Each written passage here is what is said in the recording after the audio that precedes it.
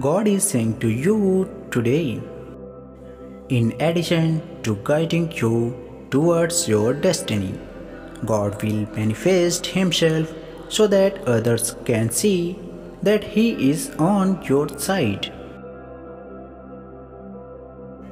There won't be any doubt that His favor is on your life because of what He is about to do